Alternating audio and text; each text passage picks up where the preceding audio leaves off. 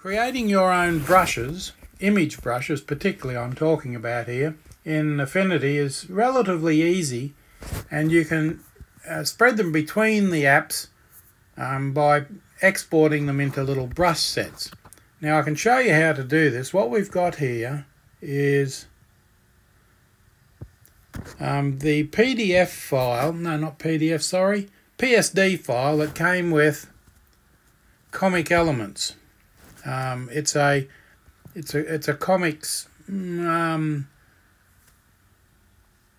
a comics kit that has all sorts of things in it: backgrounds, elements, um, templates, and shapes. Now those shapes are very interesting, and what I wanted was to put them into brushes. And I've showed you how to do that previously with the trees what you what you simply do is go to the elements and now say I want the first one templates. Make sure it's highlighted as template 1 and then you go up there you export comic elements by PSD Dude PNG comic elements by PSD Dude. Um, it's an Envato elements thing but we don't want the whole document you only want the selection without the background. Important. And you click on OK and it will ask you where you want to put it. Well, I don't want to mess up those because I've already done most of them. I'll just put it into AF Photo. It may already be there. No, it wasn't, and that's it. However, that little brush is now in there. I'll close that because I can then go to there and there's my cartoon sounds text. Boom, crash, wow, poof, ouch, all of those. And I've already created the brush sets by tapping that one there, add a category, then rename it to cartoon sounds. Not importing brushes, but creating a new image brush. And you go and look for your image that you've saved previously, exported, and by tapping on one of them, it will import it and you will then have it as a brush. Now, I'm pretty sure I showed you how to do that with the trees.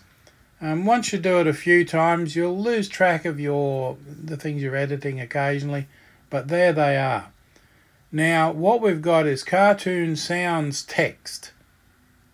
And this is the boom, crash, wow, poo thing, because they're not actually sounds. Now, what I want to do is export that brush set and I want to put it into, where do I want to put it?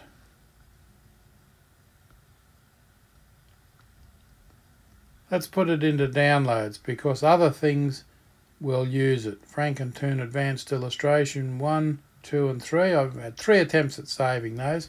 Cartoon Sounds Text. Let's save that.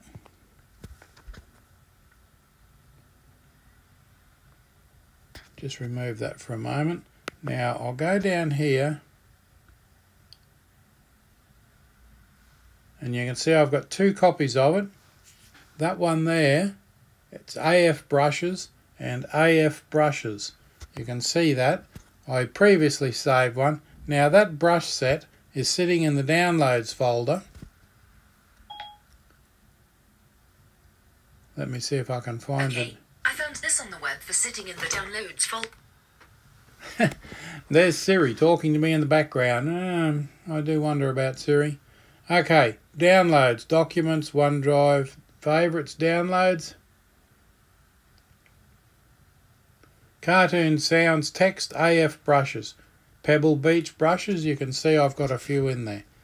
Now I can load those brushes into um, into either Designer or Photo. I can send them to my desktop version and they're very handy. Let's see, what do they do? Well, there's some, there's some examples. Select brushes, painting, two, two, two. Comic speech bubbles. There's all the speech bubbles. We'll do that one make it big enough to see. You can see the circle going up and down there on the um, on the artboard. It's on brushes. Let's see if giving it a colour makes any difference. Colour wheel.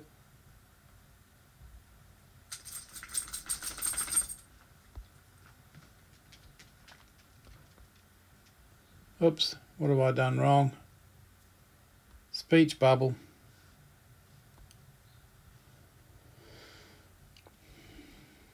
Oh, of course.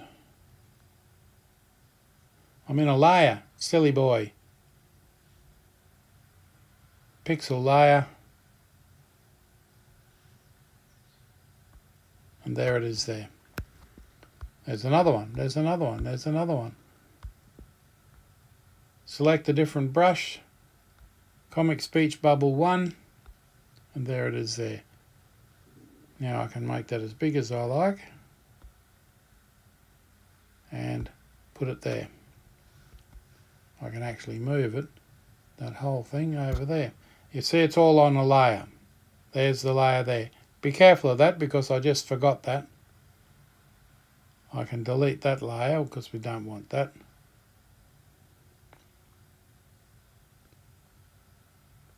The original background is there. No, I don't want that, don't want that. Crash. There we go. Background. That one there, gone. That one there, gone. And that one there, gone. That's all there is to it. Creating your own brushes. Comic speech, comic elements. There's a lightning flash. Let's select that layer, turn it on. Still selected and there's a flash there. Now of course if you paint with it you're going to get lots of flashes. Now why is it there? Because it's imported directly as the same colour in the as the same colour as it is in the original. Now if I want to bring a coloured one in, I bring in a new intensity brush. And let's go speech bubble 2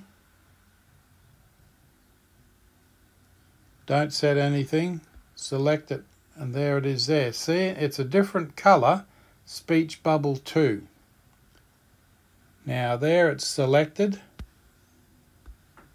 and there's the color because it's red so if you want those little things to be the right colour, or the colour you want, don't bring them in as images, they're, otherwise they're black on white, which is great for comics, and you can colour them later. If you want them coloured to start with, then create them. When you create the brushes,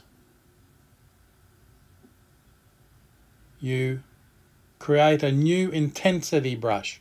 A new image brush gives you the exact image. A new intensity brush gives you an image that you can change the colour of. Very important to remember.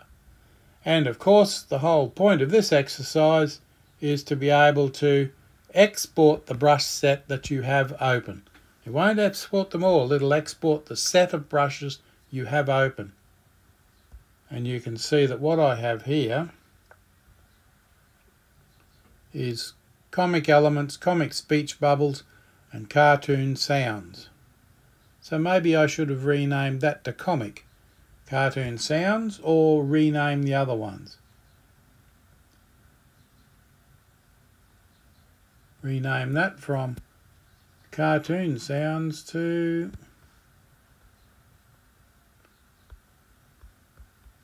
comic sounds. Okay, now there it is. Brushes, comic sounds, comic elements and comic speech because they're all related. Very easy. Enjoy.